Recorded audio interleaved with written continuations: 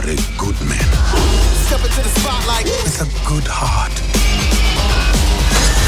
And it's hard for a good man to be a king. Congratulations on Black Panther. Thank you. Um, it's doing a like I- I saw it for the first time last night, and it, it before I had seen it, I had read things that it was doing crazy amounts of pre-sale, and and people were saying it's the best Marvel movie ever. And then after seeing it, oh wow. What do I you mean, think? it hundred percent, like Yes. one hundred to everything. Yes. everybody had said. Amen. Yeah, and and what? How does it? How do you feel about being part of like a your first sort of superhero Marvel franchise movie, and for it to go down and be received as well as it has? I mean, you know, I am so happy. Of course, you want to be. Mm. Well, you wouldn't want to be part of the one that bombs, right? You wouldn't no, want- nobody wants that. This is like this is what you want. You Yeah. want it to be big. You want people to be raving about it. Mm-hmm. Um, but also, just I feel also very humbled because this movie, when I saw it, I just saw it last week at the premiere in in the U.S. and. Uh, it, it it says so much more than even I thought it would say. You know,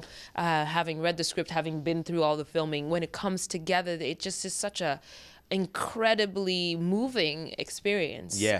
Uh, yeah. Nakia was born to be a warrior. She was born with a warrior spirit. I got into a disagreement. Made a bit of a mess. And a, a lot of the movie is set in, in Wakanda, which Mm-hmm. is a place that doesn't exist in real life. So when you were shooting the movie, did you have any idea what you were in front of or what the place would look like? Because I can imagine there'd be a lot of green screen and Oh yeah. yeah. Well, When it came out looking better than was it what you had imagined in your mind's eye? Or? you know the, the the artwork, the the, the stuff was very very uh, detailed. Okay. And so.